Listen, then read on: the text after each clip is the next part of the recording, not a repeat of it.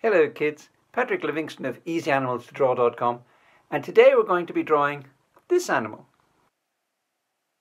The Pomeranian. Pomeranian combines a tiny body, no more than seven pounds, and a commanding big dog demeanour. So we start our Pomeranian with a circle for the hips, dotting it in lightly, as always, it's more important to get the position and the size of the circle right more than the exact to be able to draw a perfect circle. Perfect circle is not the it's fun to practice your circles and to get a certain amount of pleasure from getting them more and more correct, more and more circle circle like. But it's not the most critical thing in terms of drawing in your drawing guide. So now we move forward to the circle for the shoulders and chest. And as you can see, this circle is a little bit bigger, but quite close because of the, the luxurious furry coat of the Pomeranian and it being quite a compact dog with small legs. Finally, the circle for the head which overlaps the circle of the shoulders and the chest.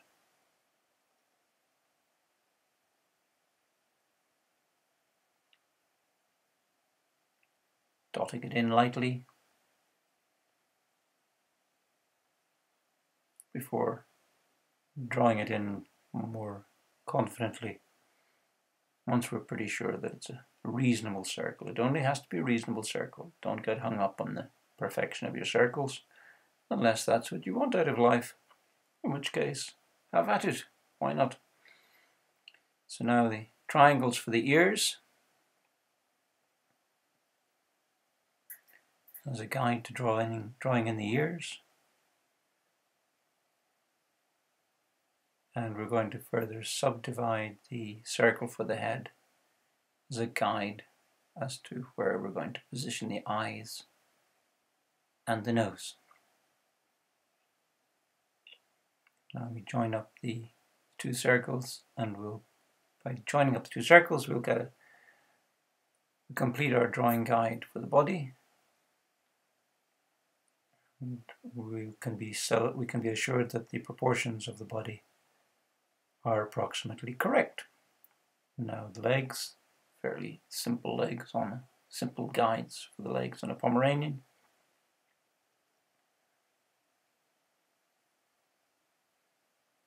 And now just a, a guide for the tail. And we're, we're pretty much done for the guide.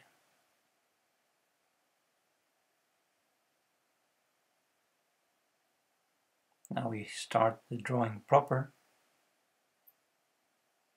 and the, the guide is will help us decide on the correct position for the eyes. You can see the, the eyes of a Pomeranian are quite large compared to the size of the head, quite large and expressive.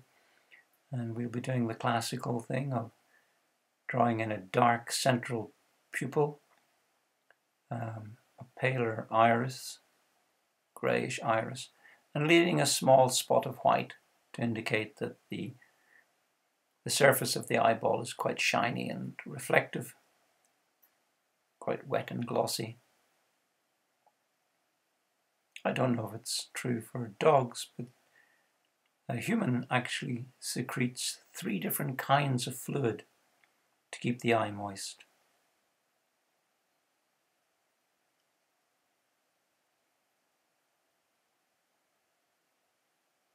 So there we have our Pomeranian's eyes. Pomeranians are easily trained and make fine watchdogs and perky pets for families with children.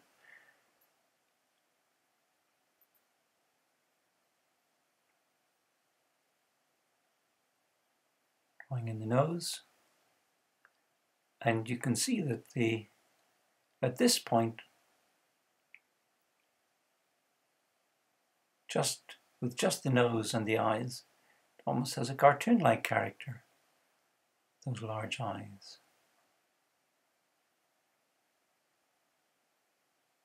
I'm drawing in the muzzle and the mouth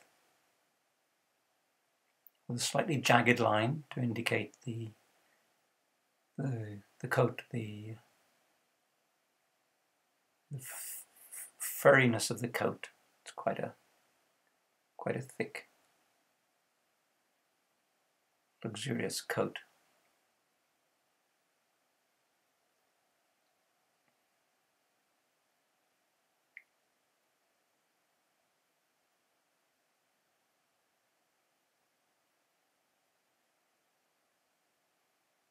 Now with the same. I've changed pencil. I'm using a heavier pencil because when a dog has this quite heavy coat, I find it's better to use the heavier pencil, the thicker pencil, to make more substantial marks. So I, find that this gives a better feeling for the the rougher coat.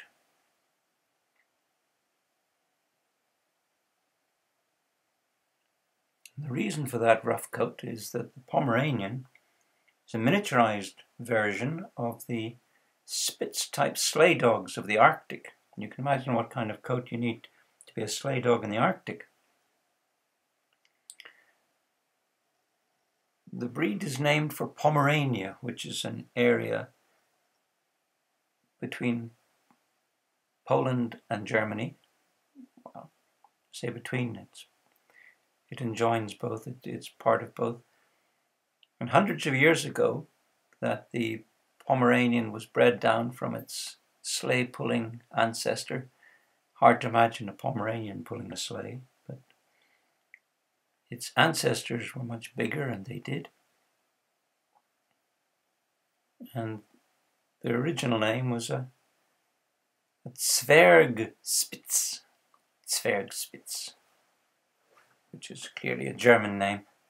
Quite a few dog breeds arose in Germany the Dachshund, the Rottweiler, the Great Dane. So back to the back to the drawing. Enough about the history of the Pomeranian. You see, I'm using little short strokes with my thicker pencil to give that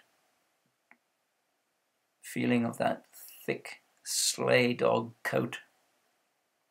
Again, very hard to imagine this cute little dog being a sleigh dog, but its ancestors undoubtedly were.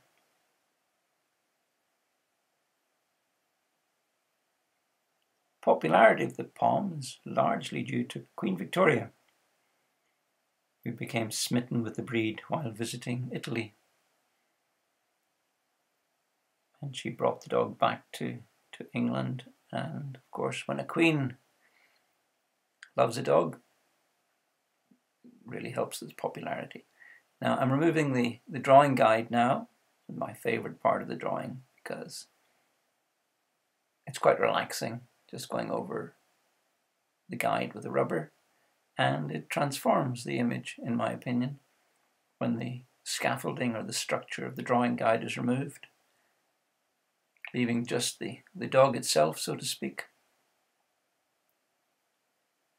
it's relaxing because you don't have to focus or concentrate on anything except removing the, the guide with the rubber. And even if you do make, you will inevitably make some mistakes. You'll you'll remove part of the drawing. That's just inevitable. There's no way around that. Um, but the solution to that is just you go back in and you you redraw the parts that have disappeared. And generally, even if it's even if you've rubbed out the line, there'll be some trace that will act as a guide. Some trace. Well, you're unlikely to have rubbed it out entirely. As you can see, around the lines are still there. They're just too faint. So we go back and give them the strength that they should have.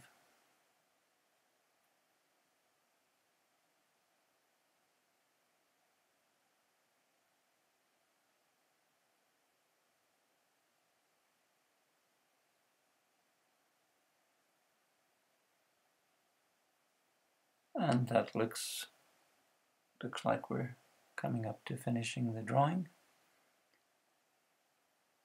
A few final touches and it's time to shade it in.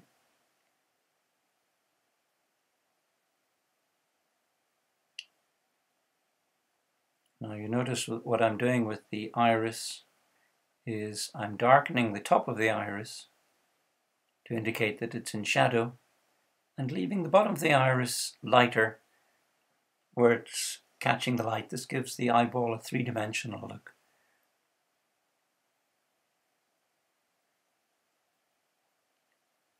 the Pomeranian being, this Pomeranian is pale in color.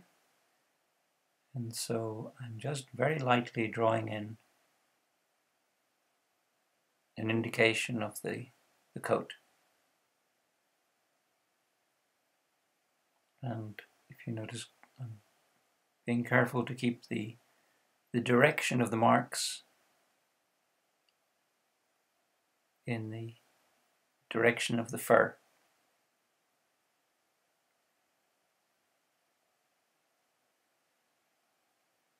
shading in the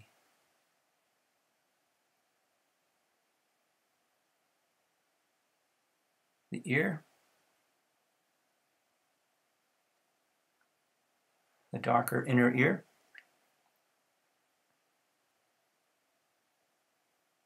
now the nose. Once you've drawn a few dogs' noses, you, you'll notice that they're all pretty much the same shape all dogs come from the wolf, which I find particularly amusing when we come to the smaller toy dogs. To imagine that their ancestors were once wild, large wolves.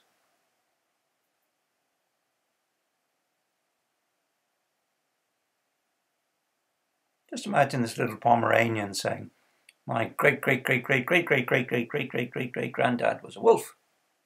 So watch out. I'm sure they have that temperament.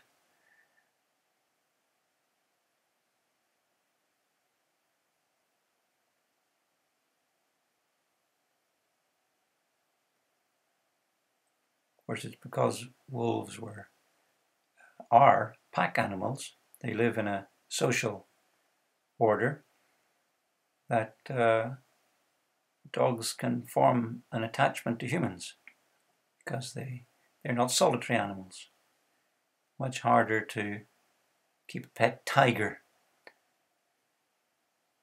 as they're relatively solitary animals.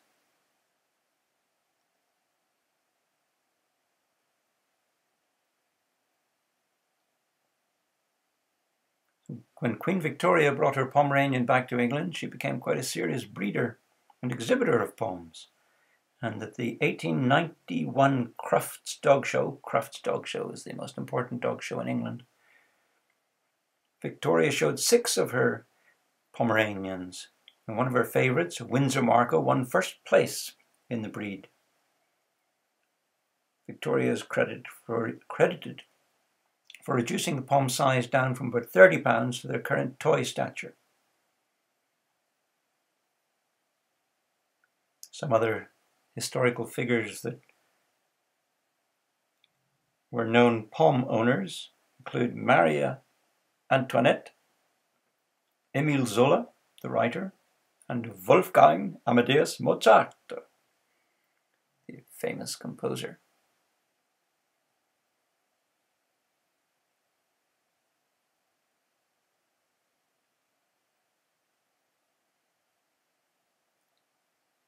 Now, this video is speeded up twice speed, so when you're drawing your own Pomeranian, don't hesitate to pause the video from time to time.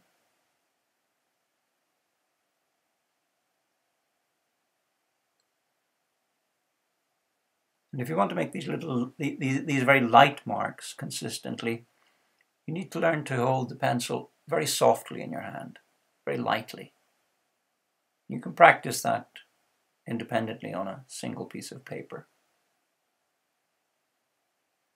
And don't, for, don't forget, you can head over to easyanimals2draw.com. Just Google it. where you'll find some drawing guides for your Pomeranian, which you can download.